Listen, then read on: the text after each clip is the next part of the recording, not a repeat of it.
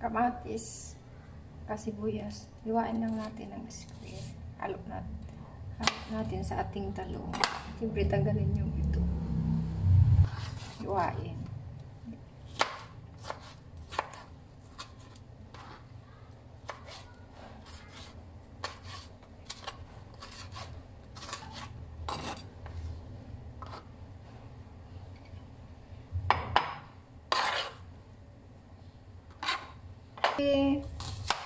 Bain din natin ng maliliit. Square, square.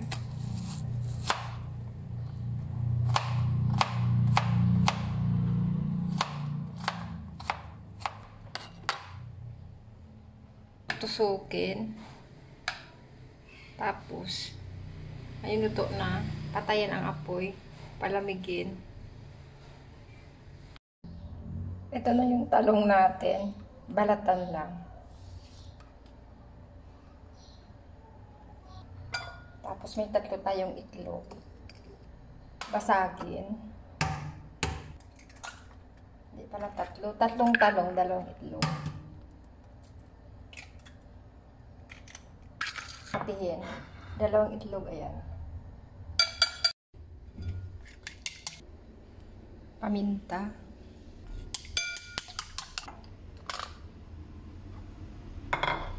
Set aside natin yung itlog. Balik tayo sa talong.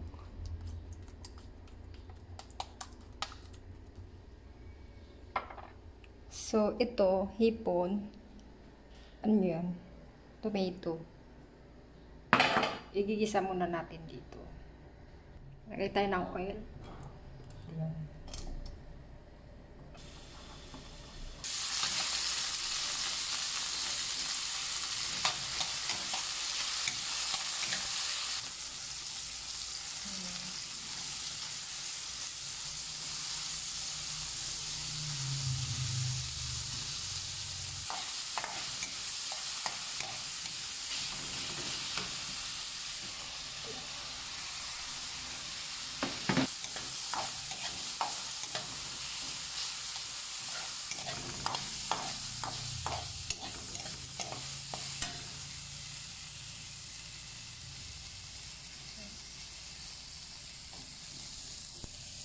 Ilalagay natin sa ating talong.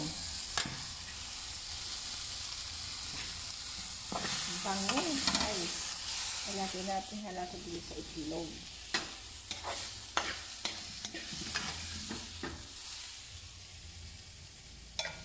Yan. Tapos, sasawsaw lang natin ganyan. Yan.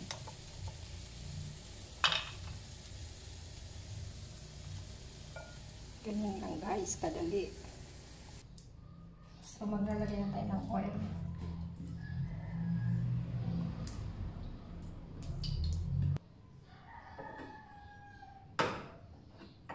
So, ito na siya. Lalagay na natin.